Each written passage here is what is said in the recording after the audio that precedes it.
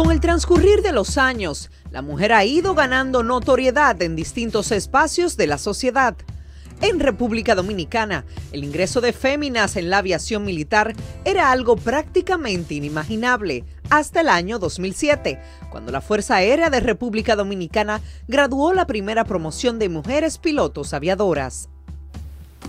La mayor piloto, María Tejada Quintana, es fruto de esa primera camada de damas aguerridas y hoy es la única en su género que forma parte del escuadrón de combate. El camino fue muy duro y ya cuando terminé la academia, claro que sí, que inicié entonces en la rama de aviación, que fue ya siendo cadete de cuarto año cuando eh, vine a lo que era la escuela de aviación, a lo que es la escuela de aviación, hoy el escuadrón de entrenamiento aéreo. Eh, y bueno, ahí fue más difícil todavía. ¿Por qué? Porque, como tú dices, no tenía un precedente, por lo menos en el área de ala fija, de que yo hubiese visto antes una mujer ser piloto de avión, cómo era el asunto. Entonces yo tuve que que meterme en ese mundo y salir adelante. En el proceso de formarme como piloto, sí tuve muchos momentos en el que pensé que no iba a poder. Eh, fue muy difícil y, sí tuve días que dije, bueno, yo creo que ya lo he dado todo, pero como que no sentía que, alcanzaba el objetivo que yo quería en esa, en esa fase o en ese vuelo determinado. Pero, pero pude, como le puse mucho coraje, mucho estudio, muchas horas sin dormir y lo alcancé. De un total de nueve mujeres pilotos que tiene la Fuerza Aérea, Tejada Quintana ha sido de las pocas que ha logrado las posiciones más altas que cualquier piloto militar aspiraría. Sin embargo, cuenta que le ha costado mucho sacrificio llegar hasta allí, porque la aviación exige años de entrenamientos, preparación física, académica y hasta psicológica. Para ti como mujer, ¿ha habido alguna dificultad para ser piloto de la Fuerza Aérea de República Dominicana? He podido dentro de la rama de la aviación, obviamente a base de mucho sacrificio y muchas cosas, alcanzar las metas como son eh, capitán de nave, que eso es una de las metas que todo piloto quiere alcanzar, piloto instructora. Entonces, si yo te digo que hubo una limitante, quizás yo no estuviese aquí hoy conversando contigo y diciéndote eso. Significa que me dieron la oportunidad a pesar de ser mujer. Ahora, pienso que hay que ganársela también, porque no es fácil, nada es fácil en la vida. Pero el proceso de enseñar y de instruir, eso es lo que más me ha gustado. Eh, actualmente yo soy la comandante del Escuadrón de Entrenamiento Aéreo, que tengo a mi cargo la responsabilidad de lo que es la formación de los nuevos pilotos. Y eso es buenísimo porque tú sientes que estás aportando algo o devolviendo algo a la Fuerza Aérea que me ha dado tanto a mí, que es la formación de nuevos pilotos.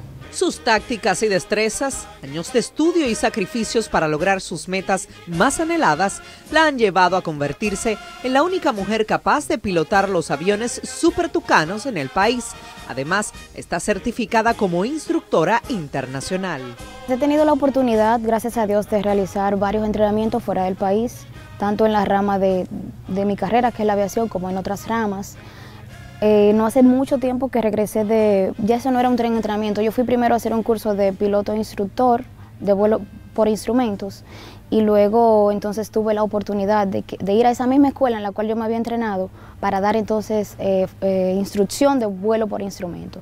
Duré dos años y algo allá en la base aérea de Lackland en San Antonio, Texas, en la Escuela Interamericana de las Fuerzas Aéreas, AIAFA. Ha sido una experiencia maravillosa, la verdad. Me gusta mucho lo que hago, me gusta mucho volar, me gusta mucho instruir. Realmente ya siento que esto es lo mío y que es como si no estuviese trabajando.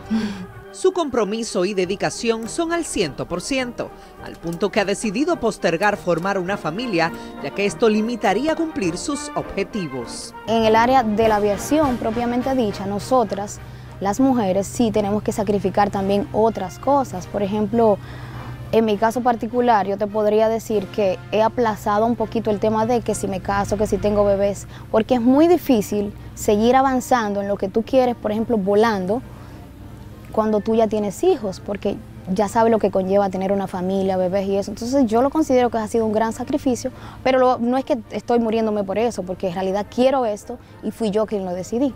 Entonces eso son de las, de las tantas cosas que tú tienes que sacrificar para, para seguir tus metas.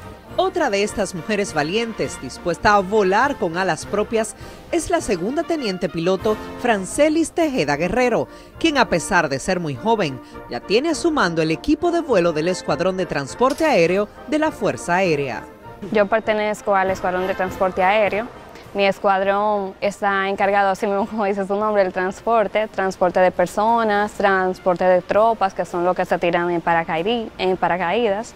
Eh, también hace el transporte de carga, eh, va a, tanto en el interior como el exterior, va al exterior, va a, Miami, va a Puerto Rico, va a Colombia.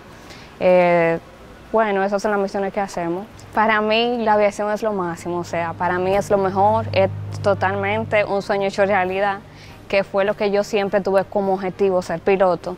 Y siempre me decían, no, pero que eso no para mujeres, o sea, había muy pocas mujeres. Bueno, cuando eh, yo me iba a graduar eran solamente siete mujeres.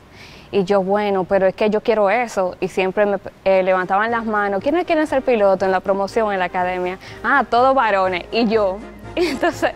Y es que a pesar de los fuertes entrenamientos, renunciar nunca fue una opción para ella aunque admite que lo más difícil de todo ha sido separarse de su familia por largos periodos. Es una vida totalmente diferente a lo que vive un, civil normal eh, en la sociedad. Es, o sea, yo siempre tengo que estar disponible aquí, que si hay vuelo, que los servicios. Eh, bueno, somos militares, hay muchos días que son importantes y no podemos estar, eh, no podemos andar así, que fiesta en fiesta, ni nada de eso. O sea, es una vida totalmente limitante sobre todo con los espacios con la familia, o sea, las reuniones familiares a las que tengo que faltar. Yo, por ejemplo, soy de Baní, se me hace súper difícil compartir con mi familia. Eh, yo siempre veía muchas personas que decían, ah, que ya no, no aguanto, me voy de aquí, quiero mi baja, y yo no, de aquí me van a sacar muerta, pero yo no voy a pedir mi baja. Yo me voy a quedar aquí, yo vine aquí con un objetivo, de graduarme a mis cuatro años como oficial de la Fuerza Aérea y yo lo voy a lograr. Y eso es algo muy bueno porque cuando tenemos nuestros objetivos claros yo creo que no hay nada imposible. Lo que para muchos pudiera ser un oficio que implica riesgos y retos, para ella es simplemente el trabajo que la apasiona y asegura que no siente temor a la hora de volar. Yo desde mi primer vuelo demostré esa emoción volando yo, wow, pero qué, ah, pero qué bueno, no lo puedo creer, como que no me creía la, historia. Y no he tenido ni, nunca, no me ha pasado ni, ninguna emergencia, gracias al Señor. Eh, bueno, los vuelos, por ejemplo, en entrenamiento de acrobacia, nunca tuve miedo a nada, todas, eh, todas las maniobras que hay que hacer y nunca sentí miedo eh, estando invertido, no. O sea, para mí eso era lo mejor. volamos por hora. Para la primer teniente Lady Tapia Díaz, su sueño de ser piloto se hizo realidad al ingresar a la vida militar, ya que de otra manera, según expresa, le era imposible costear la carrera de aviación. Ingresé por mis propios medios, si así podría decirlo, me inspiró mi mamá, me ayudó muchísimo, mis padres, y soy la primera militar en mi familia. Yo ingresé en el 2007, me motivó mucho la parte de la aviación y Siempre quise ser piloto y la única oportunidad que tenía era ingresando a la academia, siendo militar y pasando todos los procesos que se hacen para entonces poder cumplir mis sueños. Cada día asegura sentirse más comprometida con su trabajo a pesar de los sacrificios que éste conlleva. He realizado misiones de rescate, por su nombre del Escuadrón de Rescate, misiones de extracción de personas, de transportes cuando hay algún desastre natural. Esa es la misión principal que nosotros realizamos. Principalmente esta isla, que es de una zona de siempre desastres naturales por ciclones, por lluvias y todo eso. Ha pasado por mi mente, no te voy a negar, querer tirar la toalla, estar cansados. Pero solamente al inicio, luego de que termino la misión, entonces siento como que cumplí con mi deber y esa satisfacción es realmente evaluada. Estas mujeres se han propuesto vencer todo tipo de obstáculos y hasta sus propios miedos para con valentía, pero sobre todo mucha disciplina, salvaguardar y surcar los cielos de República Dominicana. Precisamente para conocer sus aptitudes, Zona 5 decidió realizar un vuelo comandado por la primer teniente piloto Lady Tapia, quien puso en práctica sus habilidades aeronáuticas ante las cámaras.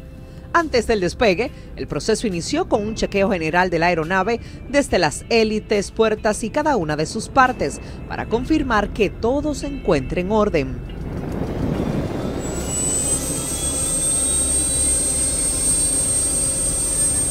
Luego se inició el encendido del helicóptero y se siguieron los demás pasos del protocolo.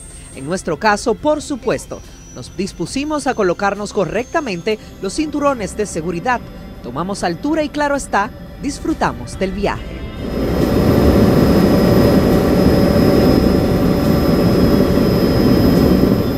Para muchas de ellas son precisamente el paisaje y la hermosa vista que ofrecen las alturas las mayores ventajas y atractivos que tiene ser piloto. Lo que más me gusta de mi trabajo, bueno, es la experiencia de estar eh, en los cielos, o sea, un lugar infinito, estar, mirar al horizonte, ver todo desde arriba. O sea, es como que la vida es diferente, así como dicen, en el mar la vida es más sabrosa, yo siento que en el cielo la vida es más sabrosa. Sí, porque, o sea, tú sientes eso, así como esa plenitud, te sientes así como más cerquita de Dios, o sea, es una experiencia increíble. De verdad que hay que vivirlo para sentirlo.